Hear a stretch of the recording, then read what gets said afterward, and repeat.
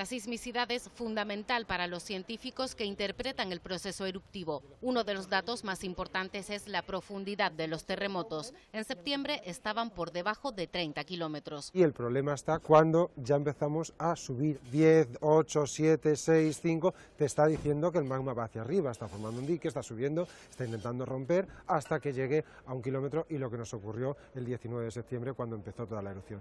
El último sismo de 5.0 sigue estando a profundidad es un terremoto que puede ser esperable en la situación en la que estamos. Tenemos un reservorio, por así decirlo, en torno de 20 a 38 kilómetros donde ocurren muchos terremotos, es decir, algo está ocurriendo ahí. Lo más habitual sería un reajuste, el magma ha estado ahí, ha empezado a subir, se ha quedado vacío y entonces algunas paredes ceden, otras se van recolocando lateralmente. Se interpreta junto a otros parámetros como este, el tremor. Aquí cuando llegamos a todo lo de la laguna, donde hubo la mayor señal de tremor, y desde este momento, estamos hablando del principio de noviembre, empezó a bajar y esperemos que eso implique el final de la erupción próximamente.